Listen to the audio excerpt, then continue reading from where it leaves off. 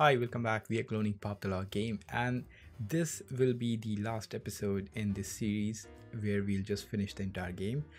And if you have missed the older episodes, please go and watch all of them. And I have some more clone ideas which I want to do it with Unity, so please subscribe if you like. So today, let's polish the game a bit. Now, the next thing I want to add in the game is the ability to increase the game speed as the game progresses. So when the player clears the level, I want to increment the motor speed a bit. And this feature is pretty simple. We can start by adding a new public method to increase and decrease the motor speed. And inside this, we'll just add a 2 hour speed by the given value. And of course, we'll add some sanity checks so I don't accidentally pass a wrong value. And I'll just do the same for reduce speed.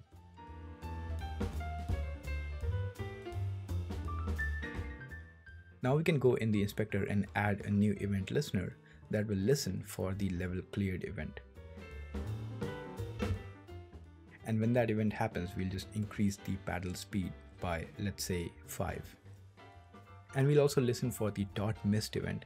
And in this case, we'll just reduce the speed by maybe 2. So if the player loses, we'll just give them some slack and make the game easier.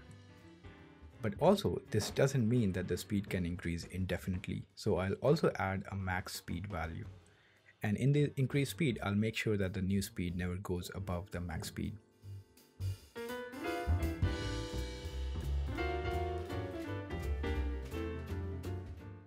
We should also do the same thing for the reduce speed. So I'll add a new variable for minimum speed and also in the reduce speed method uh, we just take the mathf max method that makes sure that we never reduce below the minimum speed.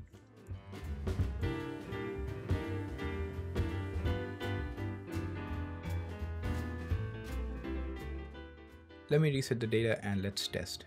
So when the level is cleared, you can see that the speed increases, so the game gets tougher as the player progresses.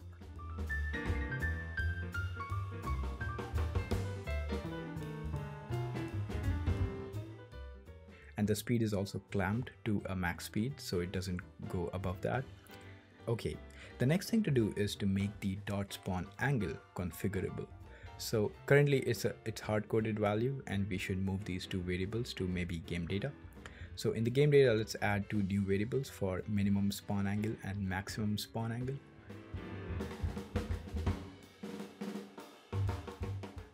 And then back in the dot spawner, I'll just use those instead. I'm thinking the motor speed and these min and max speed values should also be kept in the game data instead of the motor. So I'll just add these new variables in the game data as well.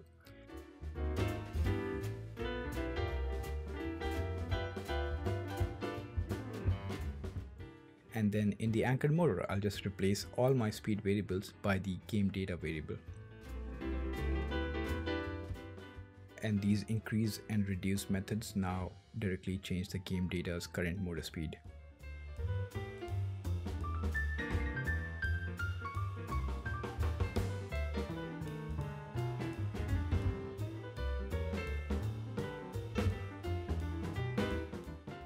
Not the most ideal code, but I think it's fine. And now we have all the data inside our game data class and let's test to see if we didn't break anything yeah, you can see that the speed is increasing in the game data. And also when you lose the speed reduces as well.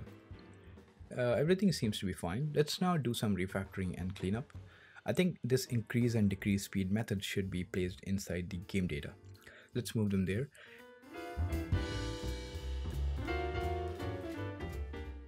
And change and maybe rename them properly and now we can just say current motor speed instead of game data.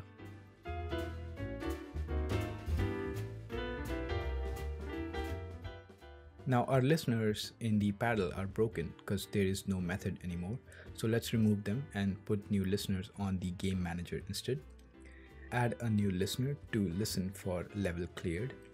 And here in the response, just drop the game data asset itself one interesting thing here is that you can drop a scriptable object instance as well, not just a game object. and I'll choose the increase speed method here and add a new listener on the dot missed as well, doing the opposite thing.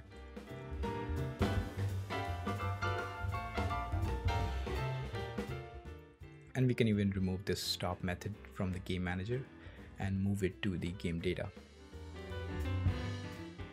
Now our manager is really small. And here in the listener, we just drop the game data instead of manager and choose the stop game method.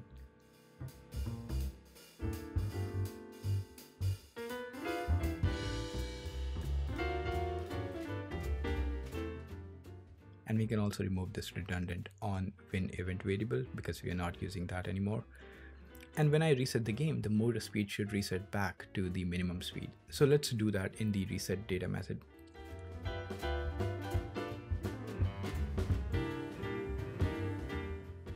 So this all looks okay. Maybe move this dot spawner and the dot to a new folder.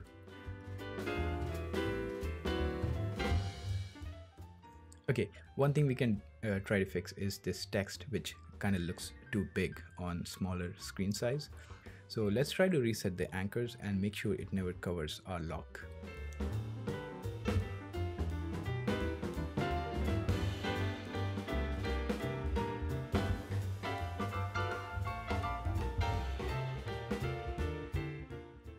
Auto sizing in TextMesh Pro can help too. I'll also make the level and the star UI auto size.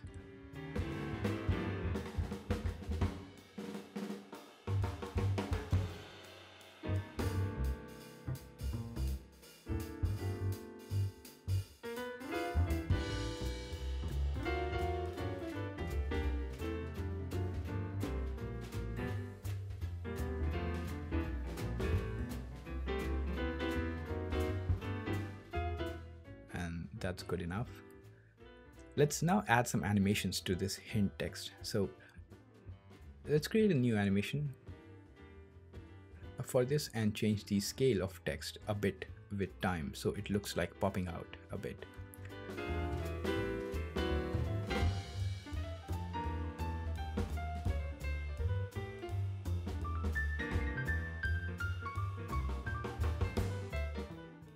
Let's also rename the animation to scale up because that's what we are doing.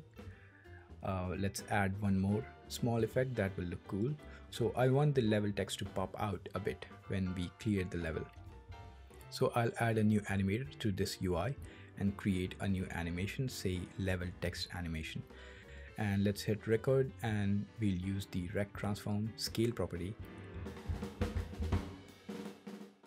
and scale it up a bit and then back down.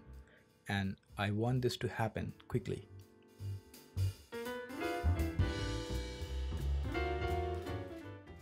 And remove the loop from animation. Now we don't want this animation to run all by default. I want to trigger this when the level cleared event is raised. So add a new event listener to this object and listen for the level cleared and then drop the same object and choose animator set trigger and let's just trigger something called do animation. Now I can just go and create an idle state and a transition to this animation using a trigger. So let's add this do animation trigger and set this as the condition and also set the return transition and adjust the transition time a bit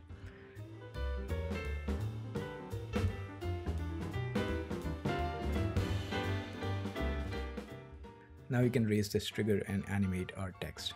So in the game, let's raise the level cleared event and yeah, you can see that the UI is popping out, indicating that the player has cleared the level.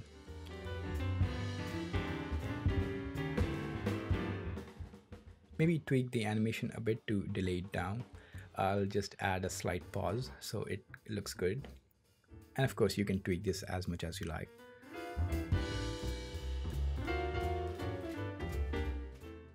The original Pop the Lock game also has these uh, power-ups, uh, these random star dots in the game that just gives you one star and and you can use these in the store to buy some things. So let's add this star dot now. I'll duplicate the dot prefab and call this one star dot. So let's add a new component on this called star and move the script back to our folder. And in the dot detector code, while we are detecting the dot, we can check if the dot has the star component. And if it does, then we'll just increment our stars count in the game data. Now, as for spawning this new star dot inside our dot spawner, we can add a new game object variable called star dot prefab. And then we can have a small method called select random dot that just returns a star dot prefab 20% of the time. And other time it just returns the normal one. And this random value always returns a value between 0 and 1.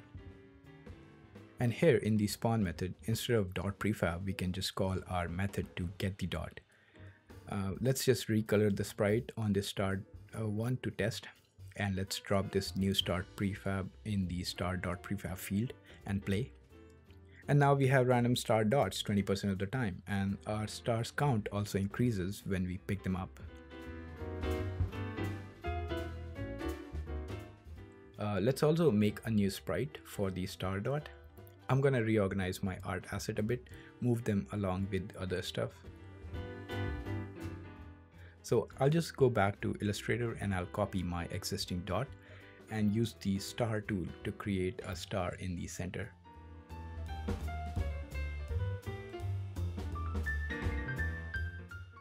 And now just export this and put it back in the game. And set the pixel setting the same as the simple dot. So I'll drop it to make sure it looks okay and then just replace the sprite on the star dot and there you have it, star dots in the game. And this is where we'll close the project.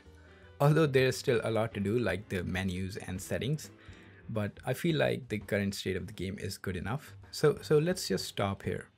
And thanks a lot for joining me on this. We actually came pretty far. We made the art assets, we implemented all this paddle and dot logic, and we did all these cool sliding animations. And we also learned how to use events in games. So i hope you enjoyed this series. I hope you learned something new. I'm working on more game clones uh, project like these uh, which i'll be posting soon. So please subscribe and keep making games. I'll see you next time. Cheers